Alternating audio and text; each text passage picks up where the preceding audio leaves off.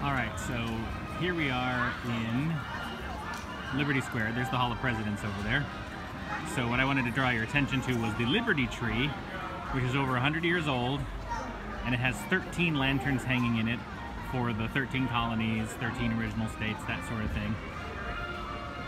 And there's a plaque here that says that this particular tree in the past, people would paste or post political cartoons and such before there were reliable newspapers. Pretty nifty, huh?